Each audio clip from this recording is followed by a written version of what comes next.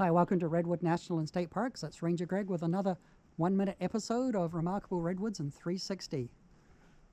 Behind me is a nurse log. It's a redwood tree that fell down about 10 years ago. Must have made an amazing, scary sound when it collapsed. So, this redwood tree, even though it's on the ground, it has a really important role, and this nurse log is providing shelter and structure and habitat for generations of plants and animals and even redwood saplings for centuries to come. I can see already plenty of moss and lichen has attached to this tree. Wouldn't surprise me to start to see a line of redwood saplings growing in the next decades ahead. So nurse logs have a really important role and are a big part of what makes an old growth redwood forest healthy. An interesting thing about nurse logs is they don't decompose very fast. This tree behind me, half its weight is actually carbon.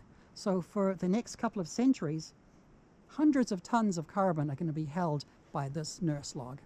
So redwood trees, carbon, nurse logs, they've all got some really cool stories to tell.